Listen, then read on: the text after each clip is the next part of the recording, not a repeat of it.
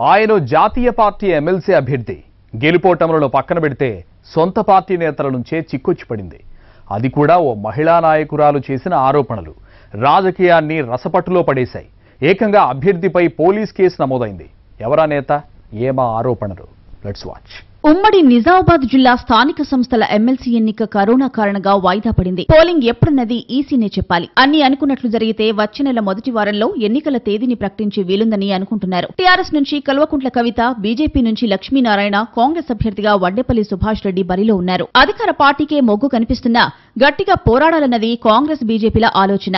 అందుకే సీరియస్గా తీసుకున్నాయి. అయితే ఎన్నికల అఫిడవిట్లో తప్పుడు సమాచారం ఇచ్చారని టీఆర్ఎస్ బీజేపీ నాయకులు ఒకరిపై ఒకరు విమర్శలు చేసుకుంటున్నారు. ఈ ఎపిసోడ్ ఇంకా నడుస్తున్న సమయంలోనే కాంగ్రెస్ పార్టీలో నాటకీయ పరిణామాలు చోటు చేసుకున్నాయి. కాంగ్రెస్ అభ్యర్థి వడ్డేపల్లి సుభాష్ రెడ్డి తనను అసభ్య పదజాలంతో దూషిస్తున్నారని ఇంటికి రమ్మని ఒత్తిడి చేస్తున్నారని ఎల్లారెడ్డి కాంగ్రెస్ పార్టీ మండల మహిళా అధ్యక్షురాలు అరుణ సంచలన ఆరోపణలు చేశారు.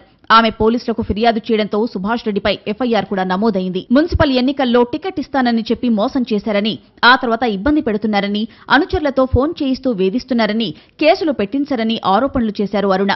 ఈ అంశాలపై సుభాష్ రెడ్డి రియాక్ట్ అయ్యారు. మాజీ ఎంపీపై ఎమ్మెల్సీ ఎన్నికల్లో పోటీ చేస్తున్నందునే తప్పుడు కేసులు పెడుతున్నారన్నది ఆయన వాదన. అరుణ వెనక కొందరున్నారని వారే తప్పుడు ఆరోపణలు చేస్తున్నారని సుభాష్ రెడ్డి మండిపడుతున్నారు. నాయకులను సెల్ఫోన్లో దూషించినందుకు ఆమెపై కేసు నమోదైందని ఆ కేసు నుంచి బయటపడేందుకే ఇప్పుడు తప్పుడు కేసులు పెడుతున్నారని ఆయన అంటున్నారు. తనపై చేసిన ఆరోపణలు నిరూపించకపోతే పరువు నష్టం దావా వేస్తానని హెచ్చరించారు. ఈ అంశంలో ఎవరి వాదన ఎలా ఉన్నా అభ్యర్థిపై సొంత పార్టీ మహిళా నేత చేసిన ఆరోపణలు హాట్ టాపిక్గా మారాయి. కాంగ్రెస్లోని గ్రూపు గొడవలు మరోసారి తెరపైకొచ్చాయి. తాజా గొడవకు టీఆర్ఎస్ కారణమనేది కాంగ్రెస్ నేతలు ఆరోపిస్తున్నా అధికార పార్టీ నేతలు మాత్రం మౌనంగానే అంతా గమనిస్తున్నారు. వాస్తవానికి ఎల్లారెడ్డి నియోజకవర్గం కాంగ్రెస్ పార్టీలో మూడు గ్రూపులు ఉన్నాయి. అరుణను పార్టీ నుంచి ఎప్పుడో తీసేశామని సుభాష్ రెడ్డి చెబుతుంటే ఇప్పటికీ ఎల్లారెడ్డి మండల మహిళా విభాగం అధ్యక్షురాలు ఆమెనని పార్టీలోని మరో వర్గం వాదిస్తోంది.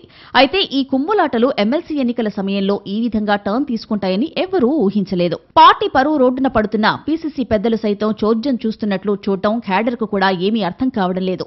మొత్తానికి రాజకీయ ఉత్కంఠకు ఆసక్తికి తెరతీసిన ఎమ్మెల్సీ ఎన్నిక ఇంకా ఎన్ని మలుపులు తిరుగుతుందో చూడాలి.